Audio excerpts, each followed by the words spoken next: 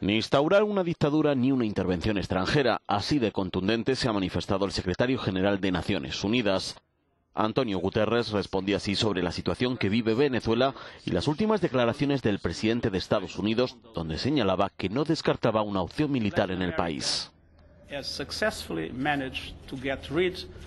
América Latina ha logrado librarse tanto de la intervención extranjera como del autoritarismo. Esa es una lección que es muy importante salvaguardar, concretamente en Venezuela, decía. El jefe de Naciones Unidas ha pedido además a gobierno y oposición que retomen las negociaciones, ya que dice la única solución es política. Palabras que llegan solo unos días después de que la propia ONU denunciara torturas y el uso excesivo de la fuerza en Venezuela, un país que lleva envuelto en protestas desde hace meses. Con este panorama como telón de fondo, Maduro ha viajado a La Habana para visitar la tumba de su amigo Fidel Castro.